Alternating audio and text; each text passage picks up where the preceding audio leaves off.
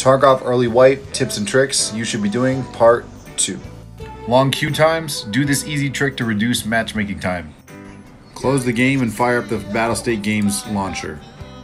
Right above the play button, next to check for updates, select change server. Next, you want to unselect the box that says use automatic server selection.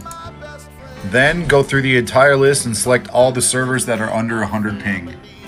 After you have all the servers selected, hit apply. This will reduce your matchmaking wait time significantly.